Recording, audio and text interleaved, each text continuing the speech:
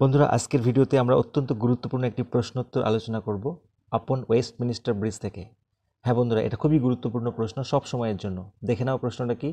Give the summary of the poem upon Westminster bridge upon Westminster bridge কবিতার সারমর্ম লেখো অথবা প্রশ্নটাকে এভাবে আসতে পারে give the substance of the poem upon Westminster bridge Westminster ব্রিজের বিষয়বস্তু আলোচনা করো বা বিষয়বস্তু দাও।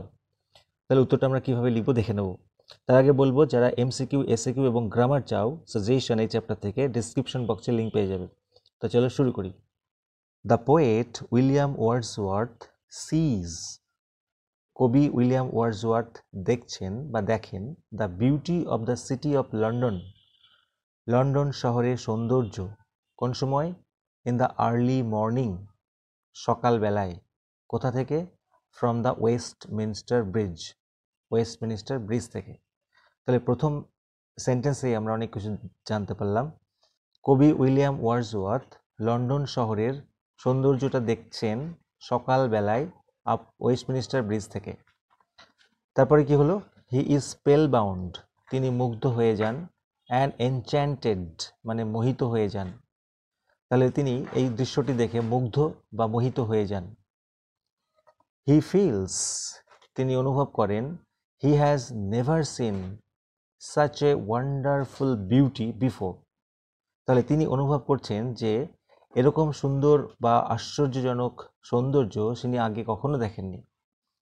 টু হিম তার কাছে the city seems to be wearing অর্থাৎ তার কাছে মনে হচ্ছে এই শহরটি ওয়ারিং মানে পরিধান করে আছে দ্য গার্মেন্ট মানে পোশাক, কিসের পোশাক? Of the beauty of the lustrous morning এই উজ্জ্বল সকালের সৌন্দর্যটাকে পোশাকের মতো করে পরে আছেন। লাস্ট্রাস মানে bright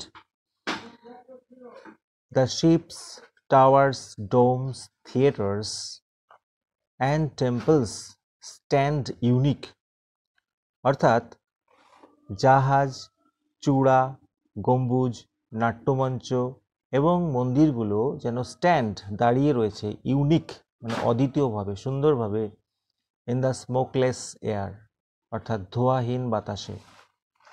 the poet thinks that কবি মনে করেন যে দিস বিউটি ইজ এই সৌন্দর্যটা হলো সিম্পলি ইনকম্পেয়ারেবল অতুলনীয়। অর্থাৎ কবি যে সৌন্দর্যটা দেখতে পাচ্ছেন, সেটা তার কাছে মনে হচ্ছে অতুলনীয়, কারোর সঙ্গে তুলনা করা যাবে না। The river Thames is flowing smoothly Thames নদীটি বয়ে চলেছে স্মুথলি মানে মসৃণভাবে at his own sweet will তার সুমিষ্ট ইচ্ছাতে বা গতিতে। There is no human activity কোনো মানুষের কার্যকলাপ নেই নো স্টায়ার অ্যান্ড বাসল কোনো ব্যস্ততা ও চাঞ্চল্য নেই, অর্থাৎ পুরো শহরটি নিস্তব্ধ, নীরব। The city of London London শহরটিকে seems to be মানে মনে হচ্ছে, কি মনে হচ্ছে? ইয়েট মানে এখনও ইন সুদিং স্লাম্বার যেন শান্তিদায়ী নিদ্রায় আচ্ছন্ন রয়েছে। তাহলে শহরটি এত নীরব, নিস্তব্ধ যে মনে হচ্ছে শহরটি এখনও নিস্তব্ধ ঘুমের মধ্যে, শান্তিদায়ী ঘুমের মধ্যে আচ্ছন্ন রয়েছে, তন্দ্রাচ্ছন্ন রয়েছে। তো বন্ধুরা, এই ছিল আজকের ভিডিও। ভালো লাগলে লাইক করো, চ্যানেলে নতুন হলে সাবস্ক্রাইব করতে ভুলো না। সম্পূর্ণ প্রিপারেশনের জন্য। Thank you so much